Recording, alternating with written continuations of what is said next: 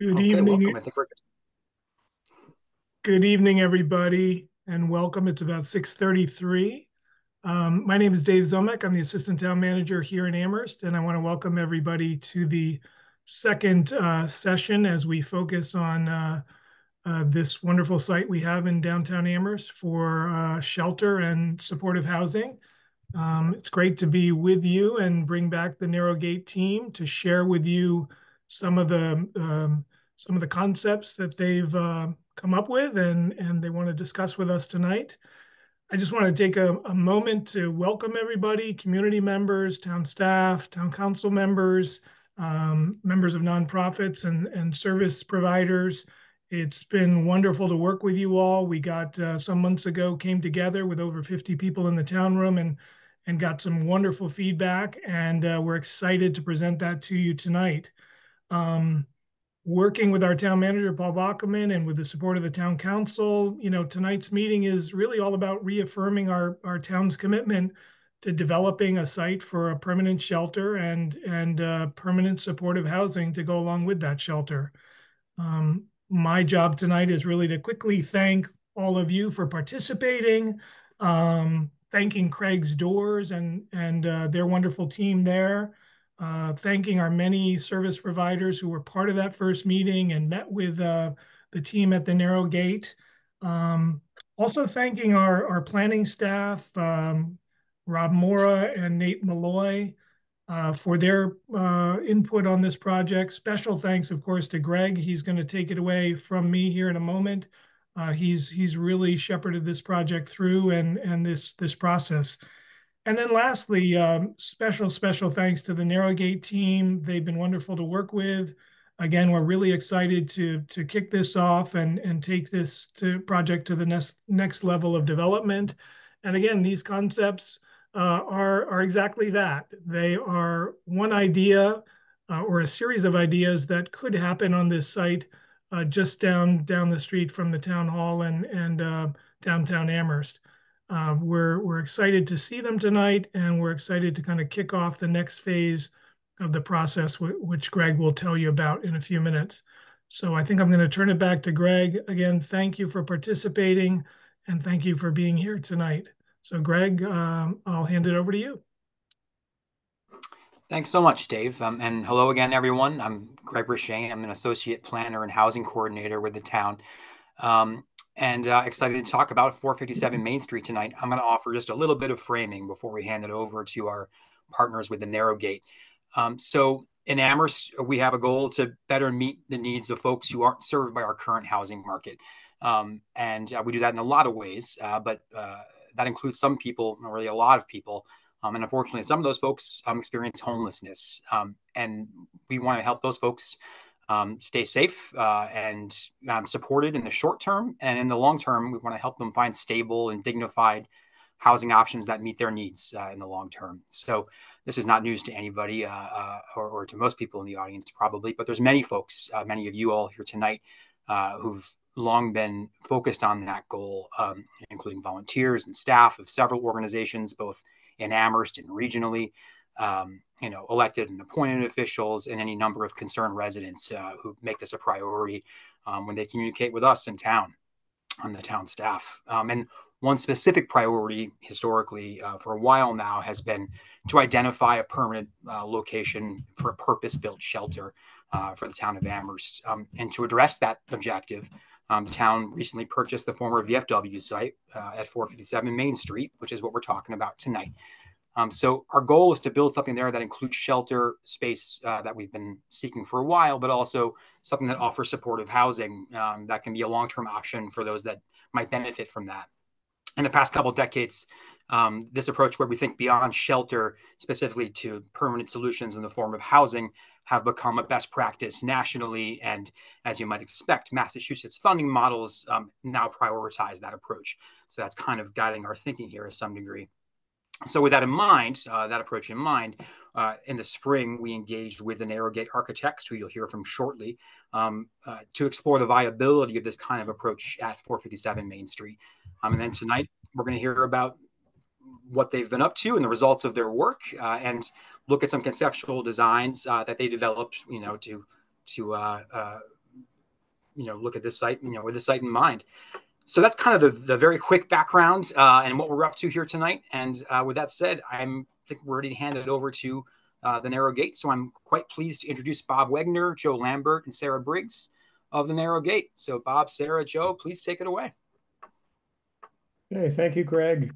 Um, so I'm I'm Bob, and uh, I'm gonna gonna kick it off here. That we have a, a, presentation for you here this evening. That uh, after we're done with it, we're gonna have a, a Q and A at the end. So please uh, feel free to uh, store up your questions uh, at the end for the end of the presentation, and we'll we'll try to address those. I'm I'm hoping and guessing that some of you may have um, been with us back in June when we had the uh, the stakeholder meeting at, at the town hall, which was a, a really vibrant session, as, as Dave was describing, and and we were very appreciative that so many people turned up and so many people cared about what was going to happen uh, on this site in your town. Um, so we we hope that uh, some of what uh, you'll see tonight will uh, will reflect what happened that evening uh, because it was an important part of um, of the process here. So we want you to to uh, kind of see this what what's going on here as a, as a first step in a in a long process. Um, we're going to show you uh, th this process. It's a conceptual process, as you've been hearing, and it's going to it led us to a conceptual building. So this building may not uh, actually end up being built, or the building that does get built on the site may look different from what you see tonight. It's, it's hard to say. So just imagine this as a concept. And for us, it was to kind of test the concept to see if the site was viable based on, on the program, based on the needs and all the things that you're going to hear about tonight. So we'll go to the next slide if we can, Sarah. So uh, you'll you see an aerial uh, photograph here with the site and the dashed line, and you can see kind of the density of the site around here. So if we go to the next slide, our goals here were to, to take a look at the needs. And that was, uh, we got a lot of that from you. We're going to hear about how we went about this tonight. Joe's going to talk a lot about that uh, this evening. We studied uh, the site with different options. Sarah's going to talk about uh, that. And, and all this led to actually generating a conceptual design option, which we're really excited to share with you tonight. So we'll go to the next slide and uh, pass it along to Joe to talk about our uh, our needs and kind of initial programming process. Yeah, thanks, Bob, and uh, thanks everyone for being here. We're excited to share the work that we've done. From the beginning, we knew a large part of the design exercise would be defined by an information gathering process. Uh, we all wanted this process to be as well informed and well represented as possible. So, you know, together with officials from the town of Amherst, we held three primary stakeholder meetings, and, and they're kind of listed on the screen here. Uh, the first was an open public forum held at the town office in June. Uh, we also had a follow-up meeting a few weeks after that with uh, local development experts and, and supportive housing experts and then the, the final meeting was with Craig's Doors uh, and, and, their leadership team. So we, we kind of uh, built on the information gathered at each of these meetings, uh, you know, towards putting together some kind of uh, conceptual design. And we we wanted to have all these meetings before we really even put pencil to paper. Uh, so tonight, uh, we thought it'd make the most sense to kind of talk about what we learned um, and talk about the big takeaways and the big picture ideas from all these meetings that eventually kind of shaped the conceptual design that eventually Sarah's going to present uh, and, and show. So we can go to the next slide and talk about the first meeting and, and what we learned. So uh, Bob, Sarah, and, and, Greg and I kind of orchestrated a, a, conversation at the town hall where we divided you know, the, the conversation into four topics. Uh, we talked about building and site. We talked about connectivity and belonging. We talked about support services. We talked about housing and shelter and how these four different ideas um, could be thought about to kind of understand the need for a building like this in Amherst and also understand um, the potential of a building like this in Amherst and, and, what it would look like and how it would feel Uh, and and the meeting was really well attended, and we got a lot of really good big picture thinking uh, out of it. So we can go to the next slide. Uh, and for those of you who are there, this is kind of what it looked like, you know, during the process and, and, and after the process. Uh, we really sought a lot of input. We wanted to hear what people were, were thinking.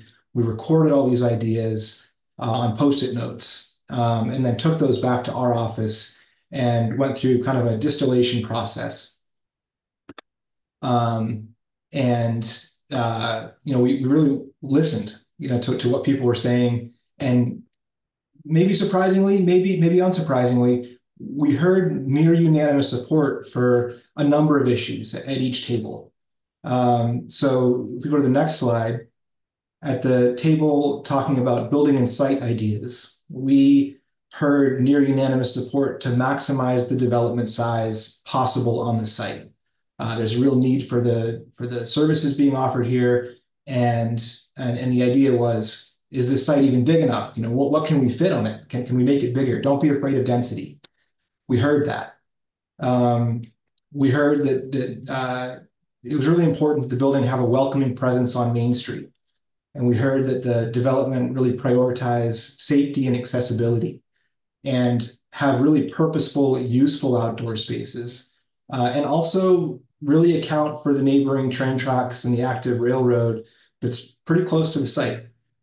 So if we go to the next slide, we uh, we also talked about connectivity and belonging and how um, how important it is to integrate the building and the development within the community, both visually and programmatically.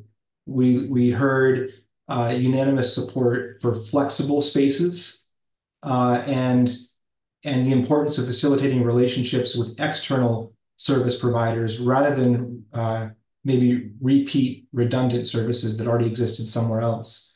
And again, this idea of healthy outdoor space um, came up. So with the third table, we we did we kind of orchestrated a conversation and recorded ideas that that you all uh, you know voiced about support services available. And again, we heard we heard uh, the, the, the interest in avoiding redundancy with services elsewhere, maximizing the shelter and housing on the site, um, really focusing on the most essential services and, and creating flexible spaces. Um, and on the, on the next slide, uh, we kind of recorded some of the big picture ideas about housing and shelter. So this idea that um, shelter be combined with permanent supportive housing seemed to, to percolate to the top. Uh, and, and, it really wasn't an either or approach, but but both and the two of them. Um, we heard about the the importance of affordable, accessible, age nimble housing that was dignified and person centered, and how important it was for um, for for for accessibility uh, and and and uh, how the two supportive housing and shelter programs could um, could share community services.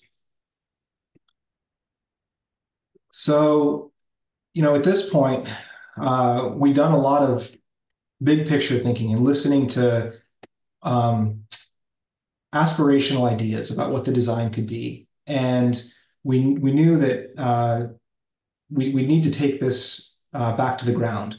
So you know, we, we with the town's uh, help, uh, we we kind of facilitated a meeting with uh, development experts and uh, supportive housing experts.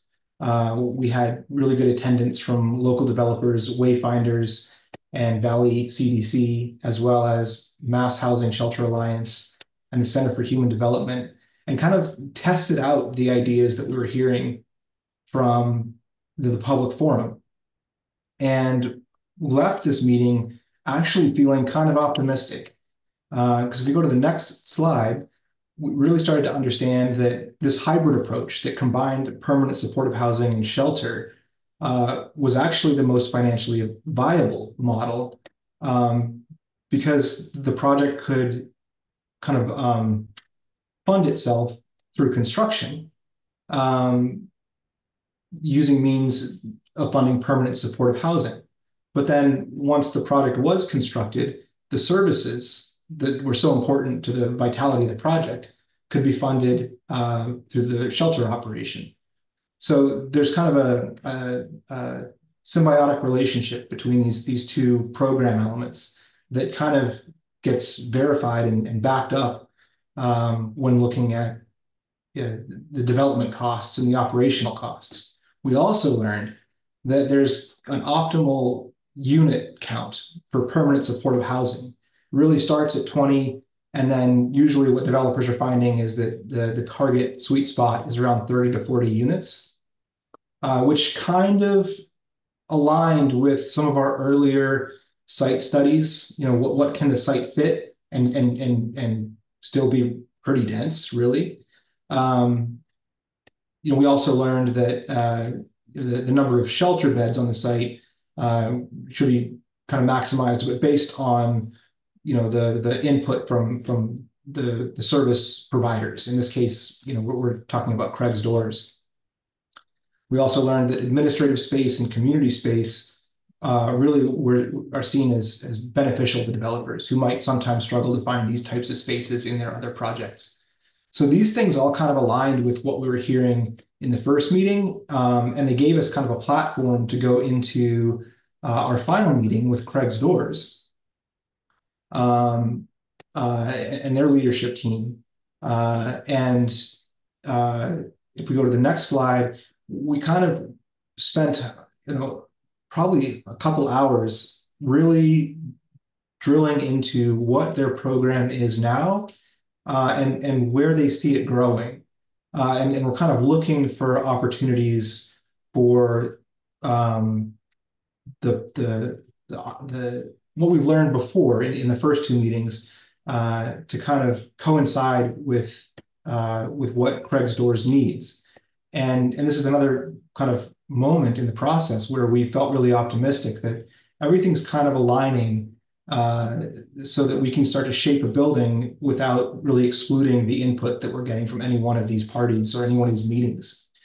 Um, you know, in, in this uh, screen, we're, we're kind of looking at a, a, pretty condensed version of of what Craig's Doors program offers, uh, and some of this stuff is offered currently, and some of it some of it is is more uh, based on what a future building might might hold for them. But even the services that are offered now uh, are, are, are spread out across disparate sites, and and maybe they don't have uh, access or, or a permanent home in, in the buildings that they do uh, you know occupy, and and that kind of creates a vulnerability. Um, so kind of providing a building to to to, to permanently house this program um, is really an important part of of what we're what we're trying to uh, design for. Uh, also, we learned that you know the Craig's Doors team, you know, really uh, is making making the most out of the spaces they have, but they're they've outgrown the spaces they have, and, and really aren't aren't even uh, using. They don't have access to the type of administrative spaces that they, they really need.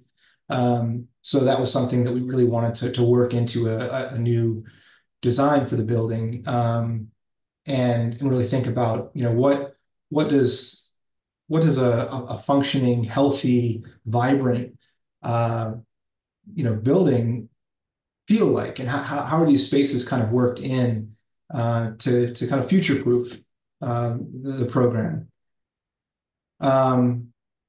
So you know, having done all this work, having having gone through these three meetings uh, and taking you know all this information in, uh, we kind of felt like we had what we we needed to go, you know, back into the design process with the town and and really kind of test out some different ideas. Uh, and we had a, really productive process with Greg and and uh, and um, and Dave and Rob and Nate where we kind of tweaked the, assumptions that we made at first and, and kind of worked towards integrating all these ideas that we heard from both the first stakeholders meeting, the public open forum, uh, the development experts, and Craig's Doors, and, eventually kind of arrived at a conceptual design that we feel really good about, and Sarah's going to talk you through it. Yeah, hi, um, I'm Sarah. Yeah, I'll, so now I will uh, sort of talk you through how we got from all of this uh, information that we collected that Joe just shared with you and how we got to a building from that. Um, and so one option of a building that might address all of these things would look something like this. Uh, as Bob mentioned, it's it's just a conceptual design, but um, but uh, so to to start, one of the first things we looked at, one of the biggest moves on this site was uh, where to locate the shelter and the permanent supportive housing. Um, once we've agreed that we want both of those components, how do we fit both of those on this site?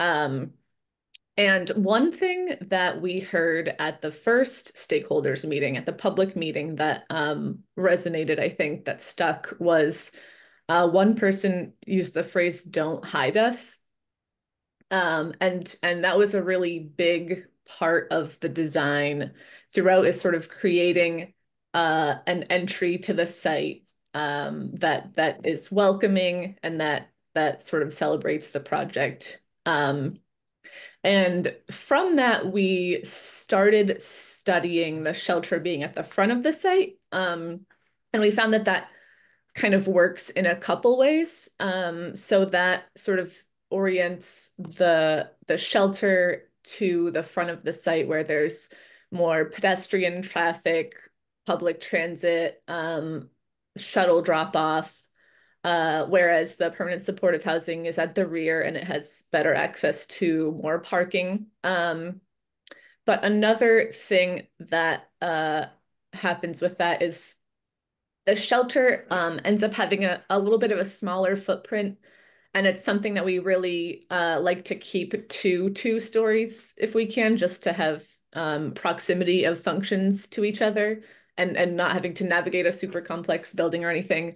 Um, uh, whereas the the permanent supportive housing has the potential at least to take up more space. Um, so so locating the shelter at the front of the site here, you can see the lowest part of the building um, is at the entry, and then you have a little step back to the shelter, and then a little step back. We might have you know higher level windows for privacy and for flexibility at the at the shelter and then the biggest step up is we have the the permanent supportive housing all the way at the back of the site. And so the the bigger uh, building that's a little bit less in scale with the surroundings is really back among all of these trees and it actually it, it fits in pretty well with that scale um, and you get this this gradual stepping back um, and the other thing that we studied on this site we're, we're starting to look at some uh, some challenges that the site brings. And uh, if any of you are familiar with the site, probably the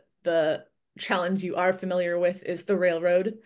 Um, it's not a super high traffic railroad or anything. I believe it's maybe twice a day that it goes through, but you know, it's we're we're we're quite close there. and um, and additionally, if you are familiar with the site, you might not realize uh, a, a second uh, limitation that it has, which is it it looks a little bit well. You can't tell quite how deep it is, so we do have a little more space than you might think. But but it also is it seems a bit wider. Uh, but in fact, some of this parking along the side is not really within our site limits. That's sort of a we'll say informal development at the moment that's actually owned by the railroad. And so the frontage we actually have on Main Street is actually pretty limited and we kind of want to do a lot in that space. We want to get people into the site for parking, uh, drop off, loading. Um, and we also want to, like we said, entry is is a really important component of this design, and we want to have a good pedestrian experience. Um, so so we're we're focusing on a good experience here. We're of we're uh, locating the driveway along the west side of the site here so that we can pull the building as far away from the, the railroad as possible. And we'll have um, some kind of an acoustic barrier to be to be designed. Um, but and we'll have acoustic uh, treatments in the building itself as well, you know, windows and and uh, high STC rated walls and stuff. But but the first step is um, doing as much as we can with the site arrangement itself to to help with that. Um, and then so getting to uh, another slightly more granular uh, scale of development here, getting into what's inside the building. Um, and this comes largely from that program developed with uh, with Craig's doors. Uh, we had some great, like very granular data that we got from them, but we've also, um, you know, uh, brought that brought in some some stuff from our first stakeholders meeting and our developers. Um, and a lot of the the interior of this is flexible. Um, for example, you know, here we have uh, some like social services and dining, and maybe those are flipped. Maybe the dining is really in this corner.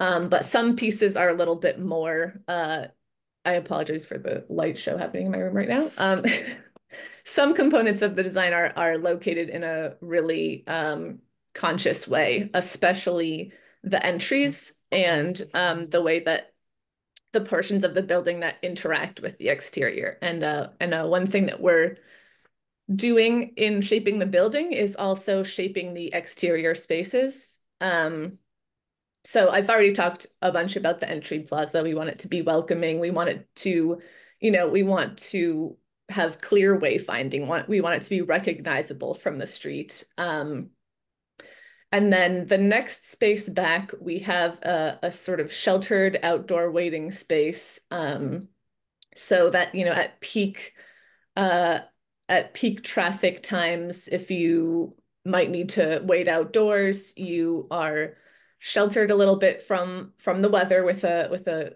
an awning, but also a little bit pulled off the street. You don't feel like you're just waiting on the sidewalk here, but you're still sort of entering into the same space. You're still, it's still easy to find from the street. Uh, the wayfinding is is clear.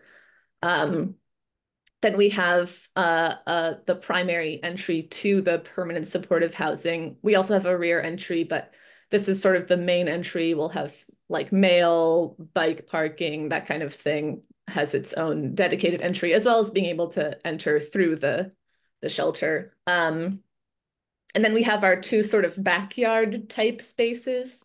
Um, there's a shared yard here between the shelter and the PSH, which we're envisioning potentially having outdoor dining. That's a nice use for that space.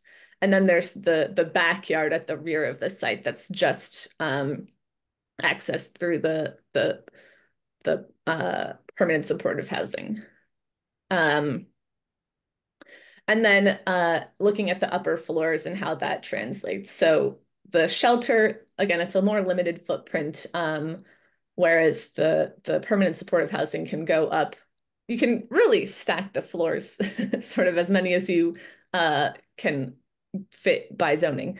Um, but we have uh, our shelter is planned for 40 shelter beds. Um, that's mostly in bunk beds and it might be split by gender and that but that's to be determined. We've also factored in space for you know an appropriate amount of shower facilities and um and there's also some adjacent admin space uh, which is helpful for just proximity for some some things. Um and then uh then at each floor of the permanent supportive housing building, we have 10 units. Um, and one of those is, uh, you might call an ADA unit, a group two accessible unit. So that's a fully accessible unit. And the rest of them are all considered adaptable.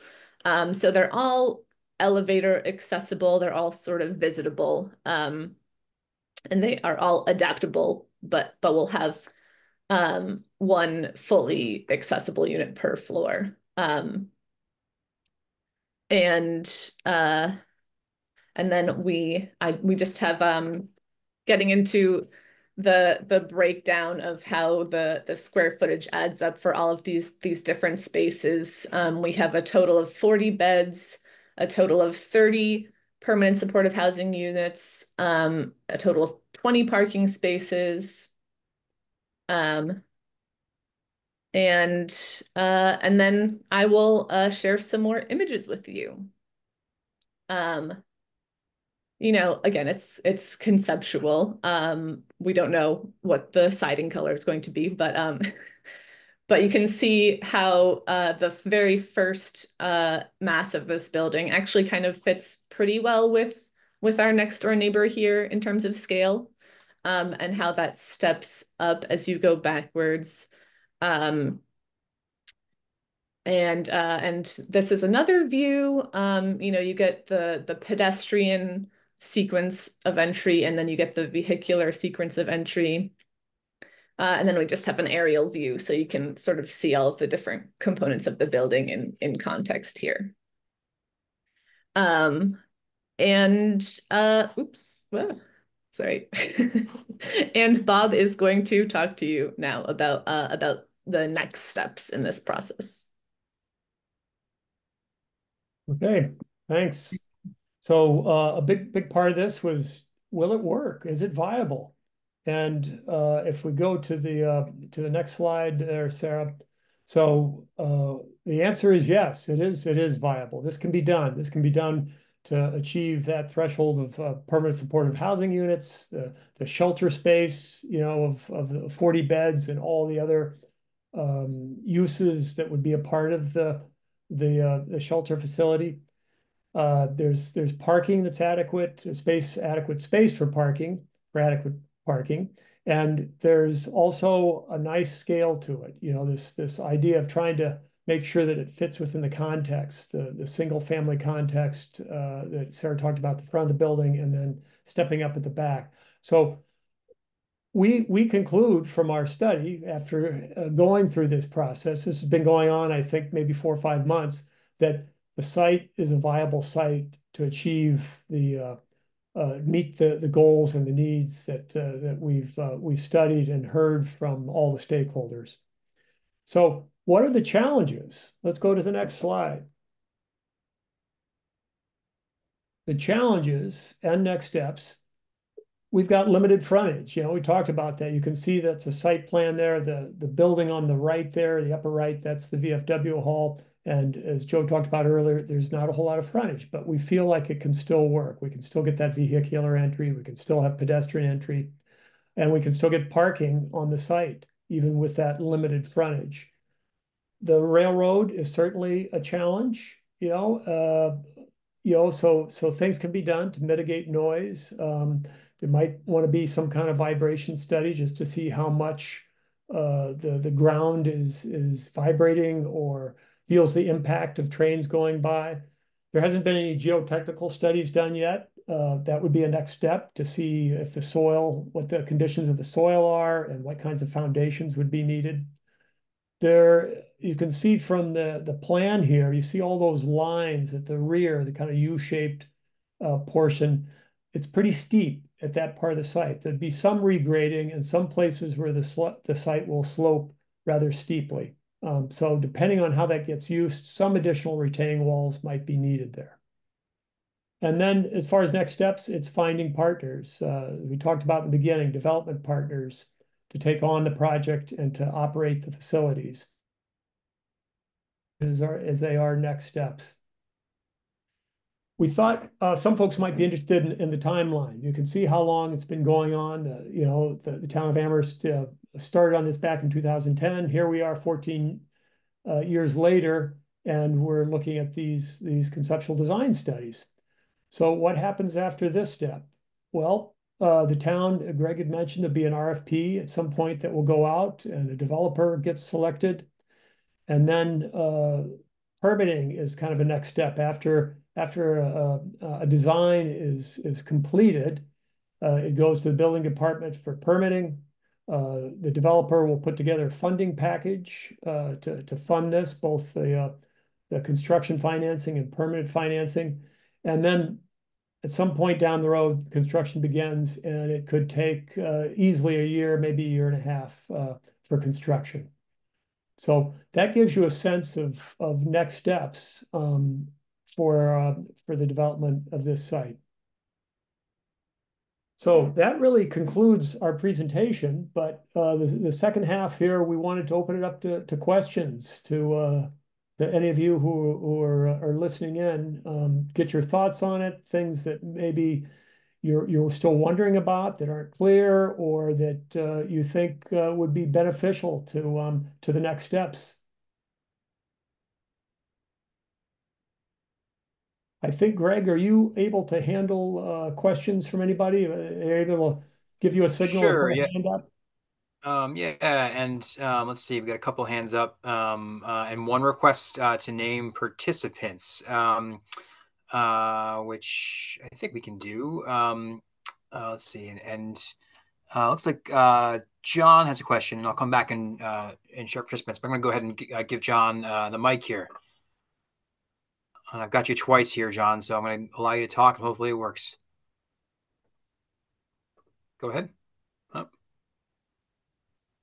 So, John, you'll have to unmute yourself and hopefully you can ask a question then.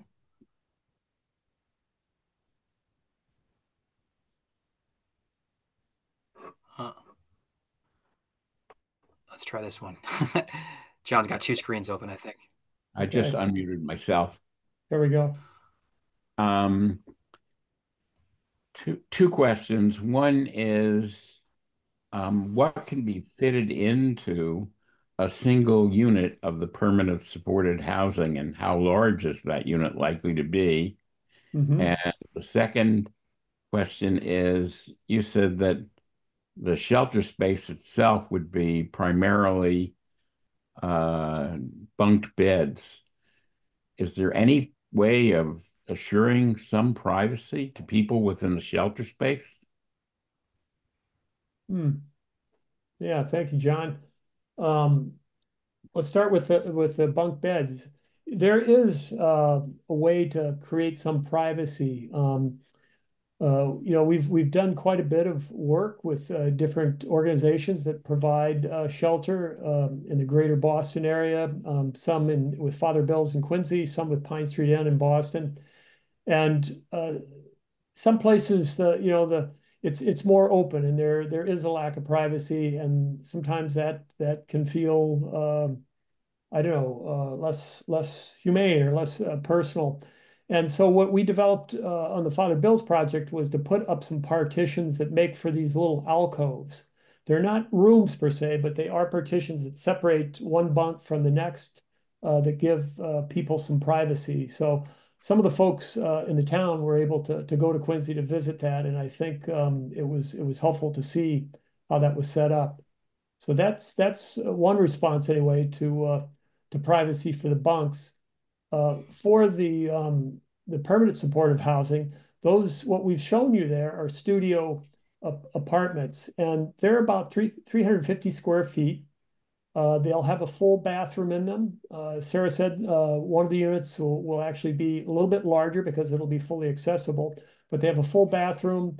Uh, they can have a little kitchenette with a, uh, a two burner stove and a uh, you know refrigerator, um, and they have enough space for a, a bed and some furniture and a small table. So we've we've done this uh, in several projects, and they're they're really quite nice units. You know, they're they're they're spacious enough for one person. You know, they have storage, they have a storage closet as well uh, that can be a part of it. Okay, thank you. Yes.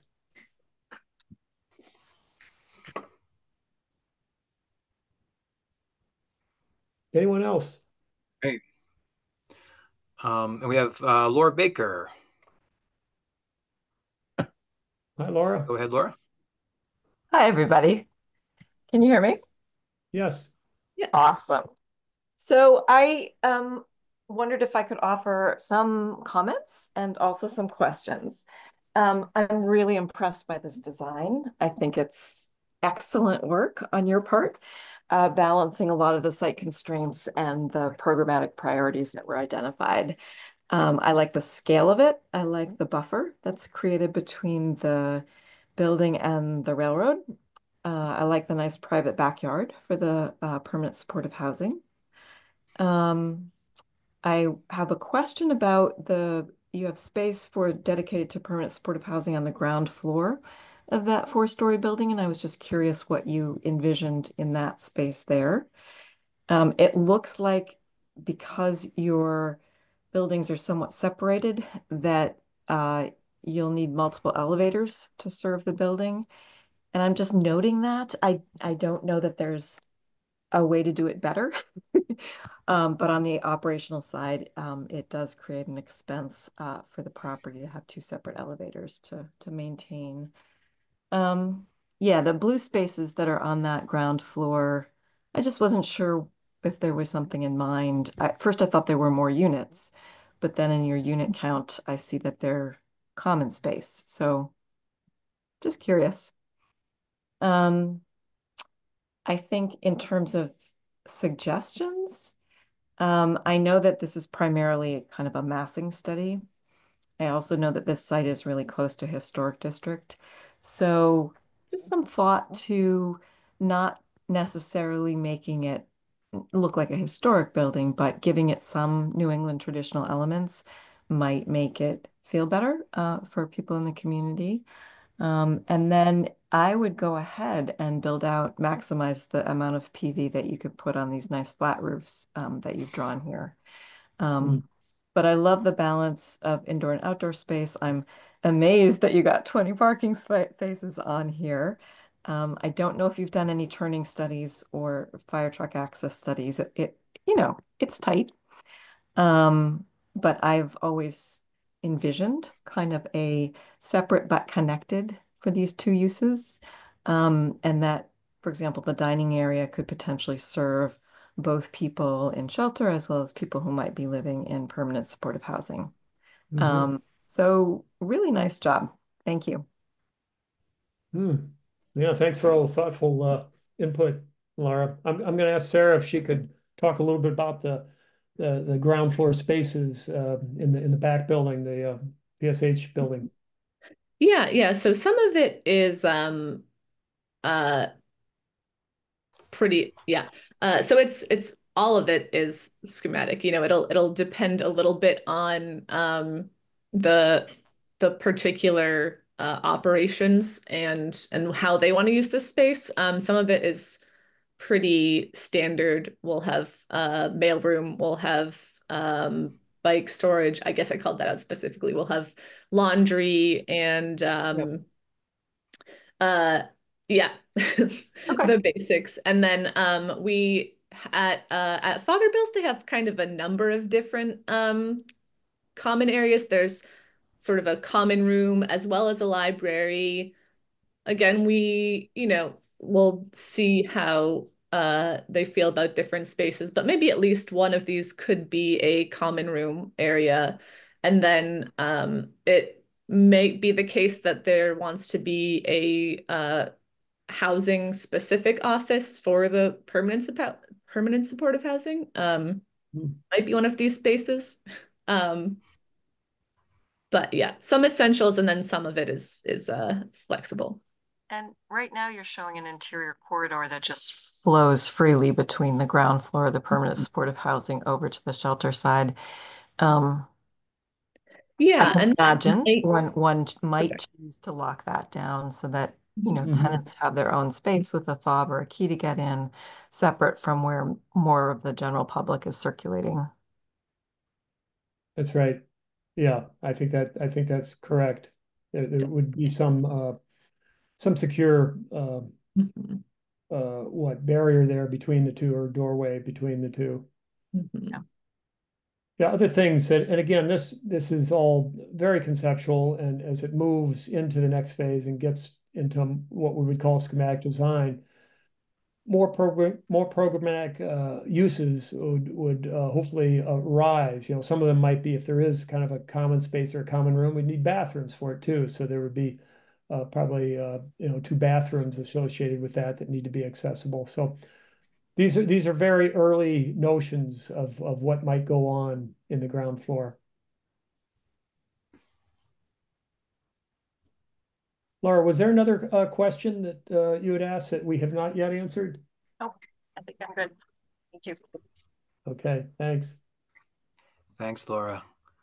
Um, and uh, I've got a couple questions um, and notes in the um, uh, in the the Q and A. Um, so, Bruce, I think in the interest of time, I'm going to uh, uh, figure out how to reply um, to your question of who's in the room. Uh, I'm going to reply to your question, and folks can can look to the Q and A um, and and look to the reply to Bruce's question on, on, under it for names. Um, if you don't want to be named for some reason, uh, uh, maybe just um, um, well, I'm going to name you, so it's, it's okay.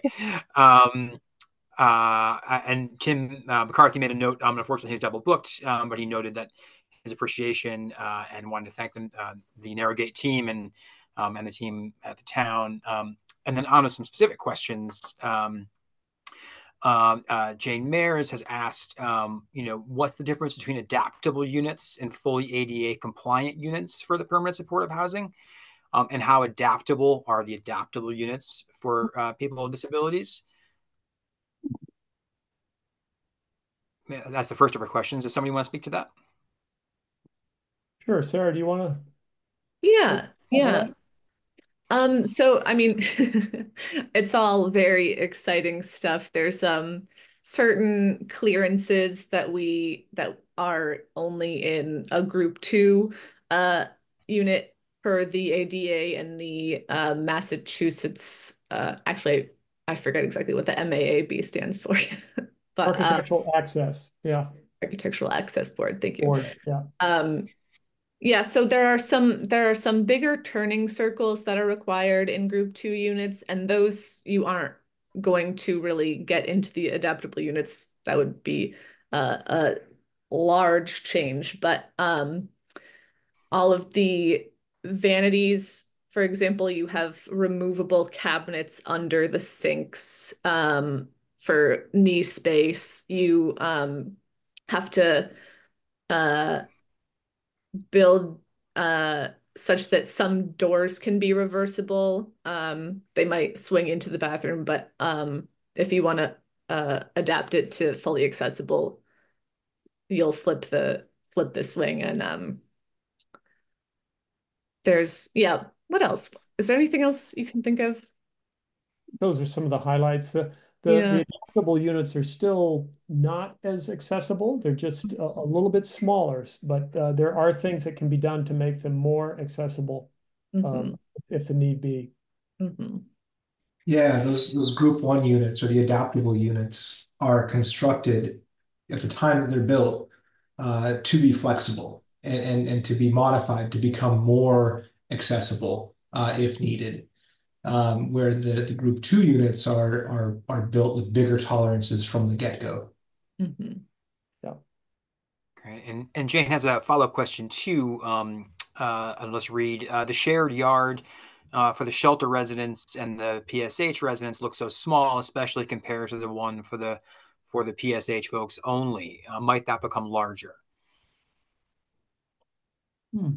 Let's go back to that plan so oh, uh, sure. everyone can yeah. see it. Um, yeah. I will say as as one thing, I think that um the site looks a little smaller than than it is when you actually start placing maybe a furniture layout would have helped to to scale some stuff. Um um a lot of uh what I did when I was laying this stuff out was um, we have sort of a, a, precedent that we worked on at, at Father Bill's. Um, uh, basically taking the spaces that we have there and cutting them in half. and they actually have more than twice the the space in the shelter.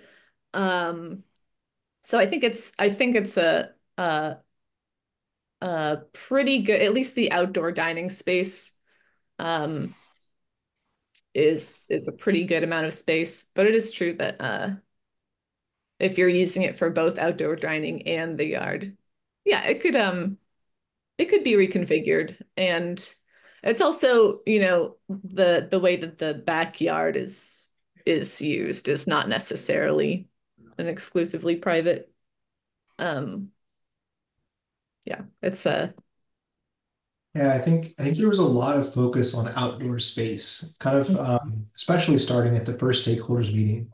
And the, the, the words that really stuck with me are this idea of purposeful outdoor space, not just outdoor space for the sake of outdoor space, but but really useful, usable outdoor spaces. Um, so I think to really to really maximize that type of environment, you really have to have deeper conversations with the developer, with the operator, the service providers, and really think about you know what these outdoor spaces are serving. You know, how do we how do we make usable space that's inviting to people, but not just kind of abandoned empty green space. So I think those are the kinds of things that as this project goes through a, a real design process, um, will be really important to maintain, you know, and keep exploring those relationships and what is the right uh, balance and scale between the shared private yard and and the rear private yard and, what are they used for you know? Um, i think i think those are things that we've started to hint at but really like everything in this plan there's a lot more thinking um, that that's ahead you know if if if this project is green lighted I'll add on top of that that uh, the the PSH outdoor space looks larger, and it is in plan, but some of it's not very usable because of the slope, you know, where those trees are. That's a very steep slope. And we also wanted to uh, allow for little uh, potential expansion of parking if needed or turnaround space. Somebody mentioned uh, fire trucks. You know, it's possible that we'll, we'll need some more space uh, for that as well. So there is there is some consideration for if that if that paved area for uh, fire truck access or more parking is needed, there is a little bit of room to expand that at the back of the site. Or alternately, uh, we could have less parking. there was def- there were some some people right. supporting no parking on the site, so you know you could get in instead get extra uh, outdoor space that way. Yeah. Yeah. Um, and I'll I'll follow that uh, comment about um, the the slope of the site uh, with uh, Calvin Ellis's question, uh, which is, um, given the steep slope of the site, uh, have you considered building below grade or partially below grade level?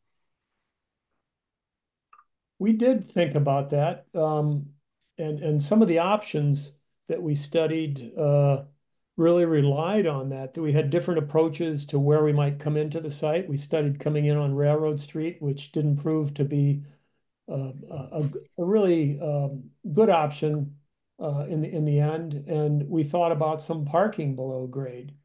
Uh, but I would I would also add on top of that that the parking below grade is is a more expensive um, uh, what approach to parking than just surface parking.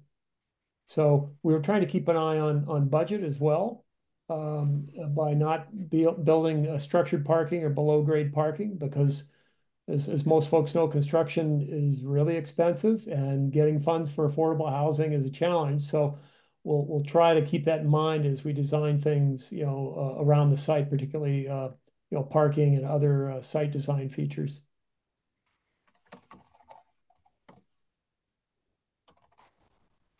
Great. Um, and then a few briefer ones. Um, I'll type out some answers in some cases. Uh, so uh, uh, John uh, Hornick has a couple more questions. Um, what is envisioned for the third floor above the shelter? Um, I don't believe in this case we have a third floor in the shelter space up front. Um, and you can tell me if I'm, I'm misinterpreting that question. Um, um, and then is there a way to carve out a little more ground floor space for clients in the shelter? Not quite and what was um, again, Greg? A little more. Um, is, is is there a way to to carve out a little more ground floor space for clients in the shelter? Um, and John, maybe I can just let you talk here. Do you mean um, uh, more um, like program space in the ground floor of the shelter for for usage by clients of the shelter? Is, is that? Actually, that wasn't my question. I'm not quite sure.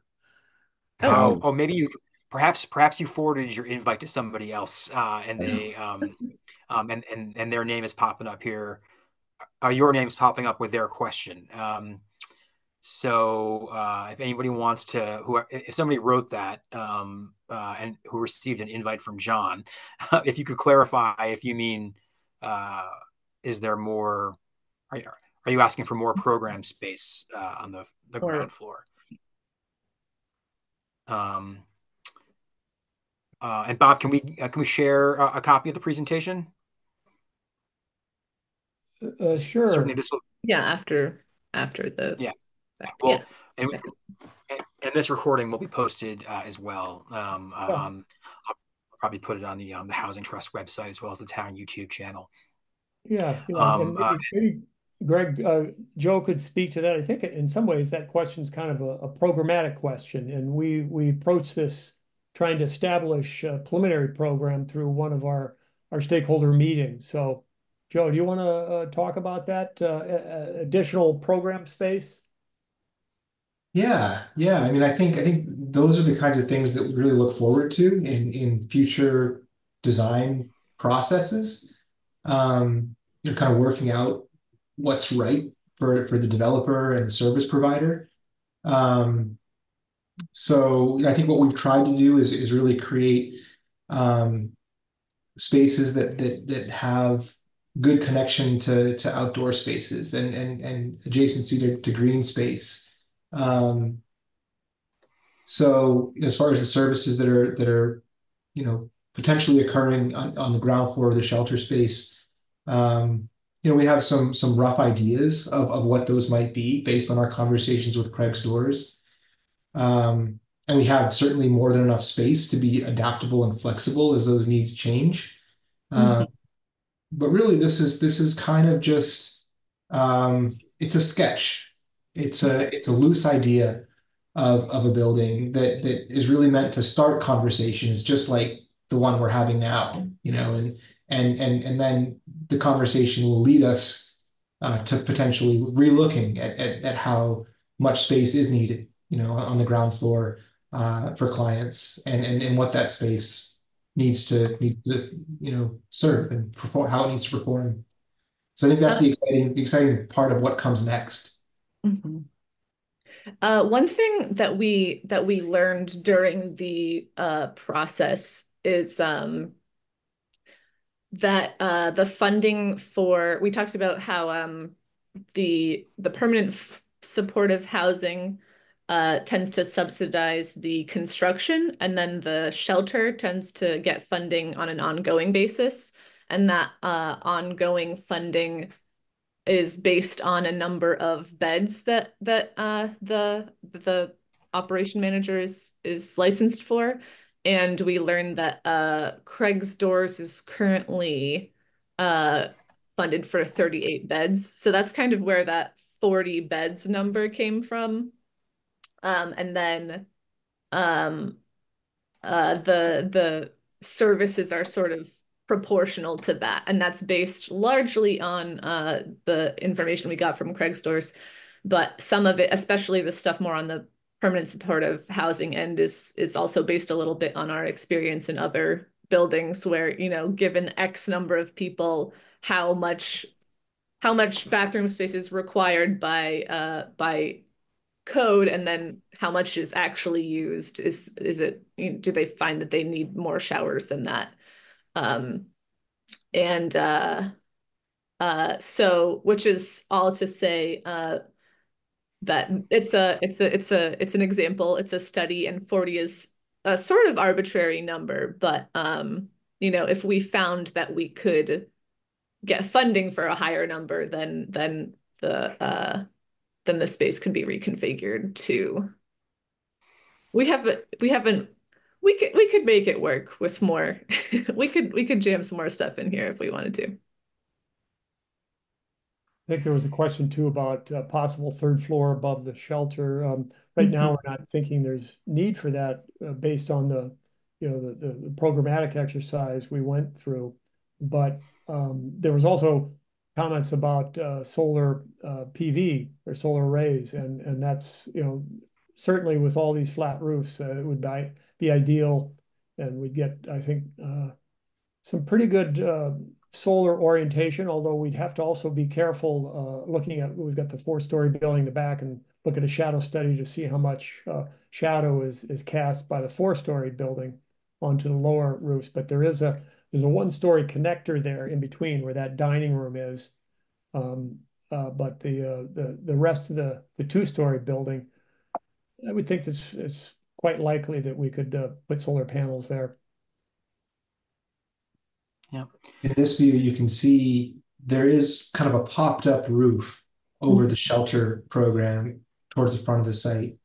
Um, and that's not a full third floor. It, it's really a, a clerestory uh, story that that uh, allows light to come in above the, the the bunk space, the dorm space, partly to allow for more privacy for, for those spaces, but also to allow a more flexible floor plan. Um, so again, it's it's it's a it's a it's a it's a loose idea of what might work, um, but the, there's some some some thoughtfulness that we put into it. Um, so maybe, maybe that's where the the the misconception was that, that there might be a third floor Mhm. on the shelter. That makes sense. This image is Um, also pretty good at showing where the shadow from the four-story building. You can see, I don't- I'm not sure what ti- time of day this is, but you can see the shadow being cast uh, on the on the lower roof there, the dining room uh, connecting roof. Yeah, this is um our plans are uh pretty much due north, so so we have um a, a very nice south facing yard here, and then the north the the main entry is um gonna be in shadow a lot of the time. But Um, and a, a, a question here, um, uh, and I don't believe it's from John, but uh, I'll. It doesn't matter who it's from actually, but uh, but how would the program affect residents of Railroad Street? Uh, as a question. Mhm.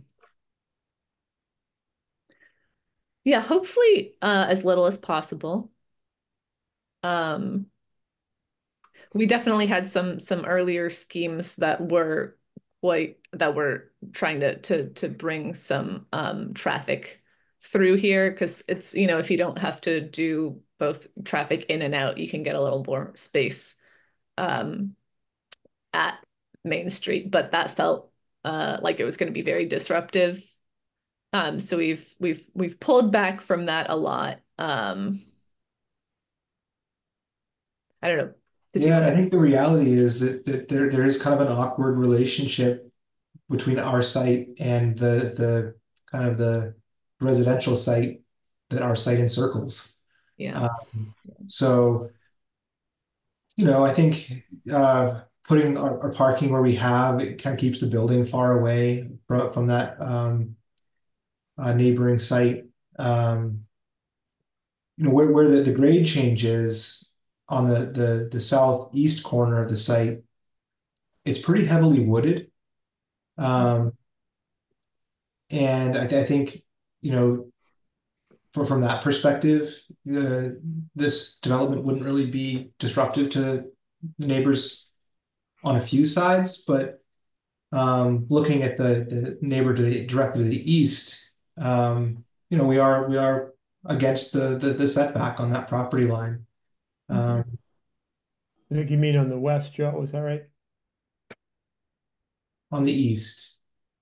yeah Oh, on the east, okay, that. Yeah, the east and and and the, the west too, you know, where, where our site kind of wraps Yeah. around the, the neighbor's site. Yeah.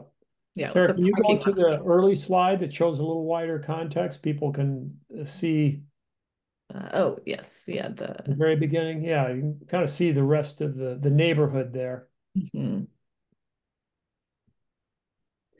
Yeah, it's definitely um well, we're at an interesting corner here, sort of between um we have we have some a lot of uh one and two family housing and then this is it actually uh in a zoning study earlier where the site is actually split between two uh zoning districts between residential and commercial. And uh sort of to the west over here it's getting very commercial and to the north it's it's larger multifamily.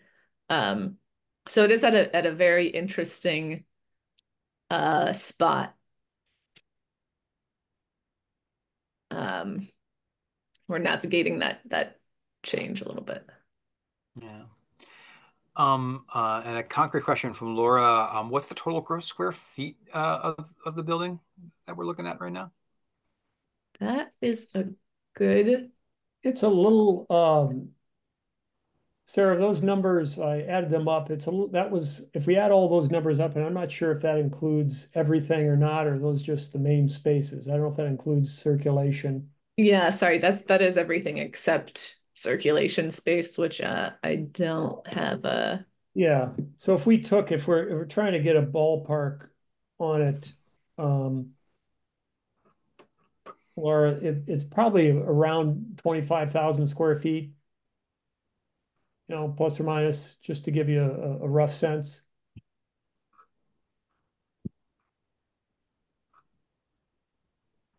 Great.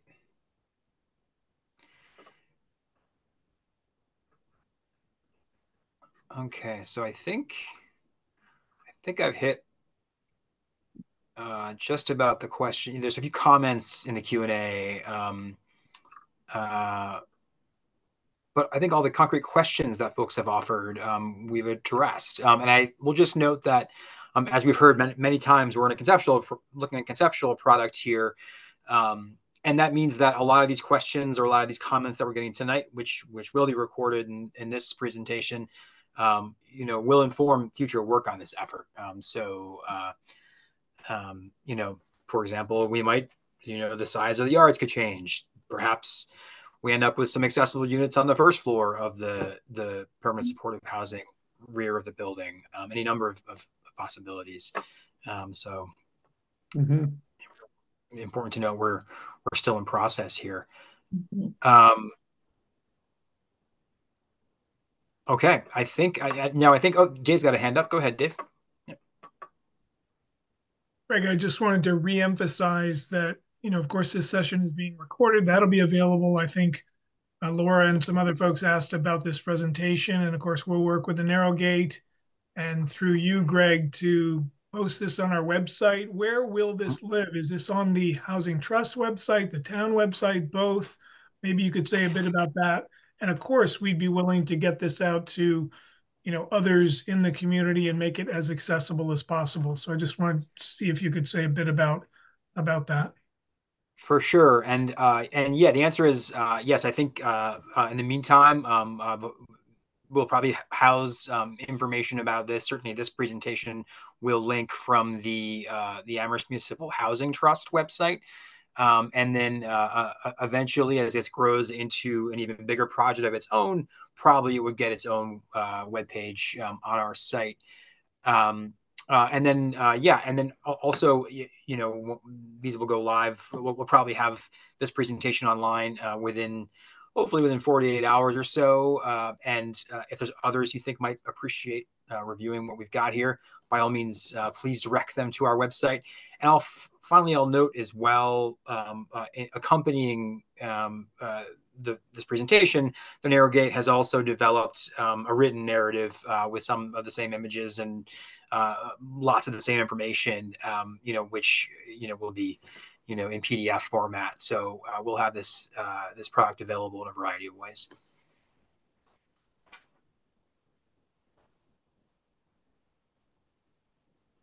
Great. Are we, do you think we're ready to wrap here? Any more questions coming in, Greg, that you can see? I'm not seeing any more questions. Um, um, um, uh, get, uh, Jerry, I'll drop you a line. Thank you for that. Um, uh, and we will connect. Um, um, and uh, no, but I think we've got, uh, I don't think I see any more questions. Um, a few comments, which folks are welcome to review. Um, and um, and thank you for all of them.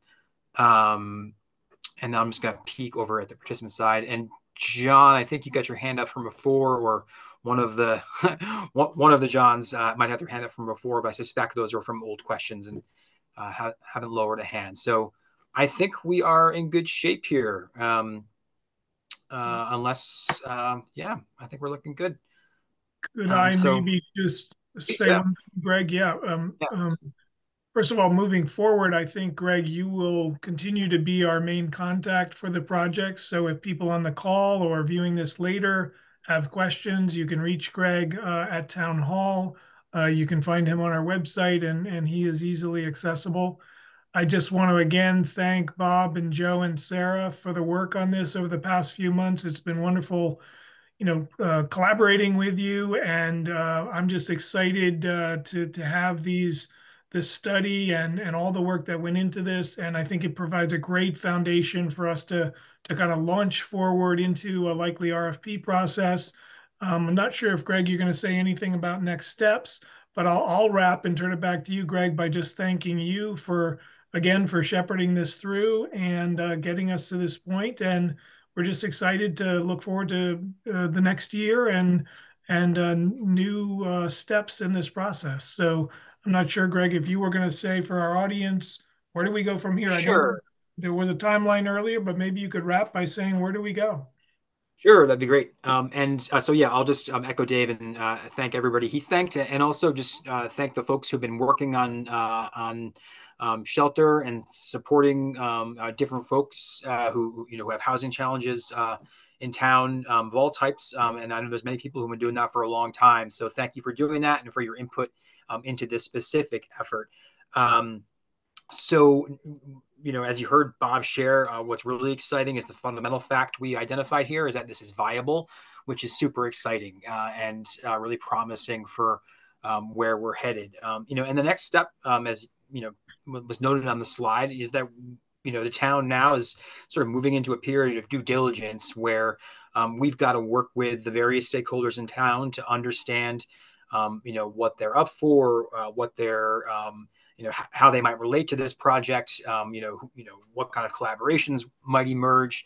We're going to have to look uh, you know uh, what capacities exist in the services and housing sectors in town right now and and what uh, need to emerge in order to execute something like this um, and uh, you know follow you know guidance from state sources and so forth. So there's a fair amount of, of due diligence uh, to do here. Um, but uh, it, it's it, what's exciting is that we're um, you know we're getting a green light from this important initial stage here. So um, so once you know we've we've kind of done that work with uh, a variety of stakeholders, um, some of whom are on tonight, um, you know, we'll uh, move towards some sort of RFP process, which will be informed by that uh, that communication with those stakeholders. So basically, survey the site.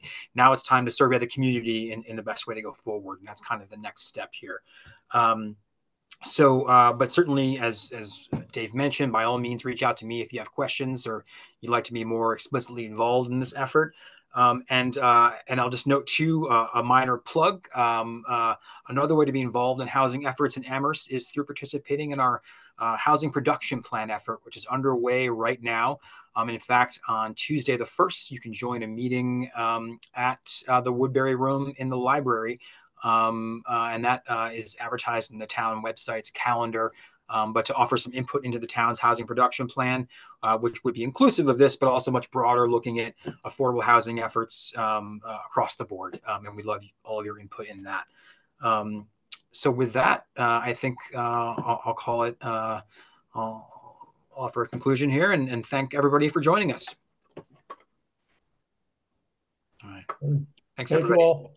Thank you all. Good, everyone. Thank you. Good night. Good night.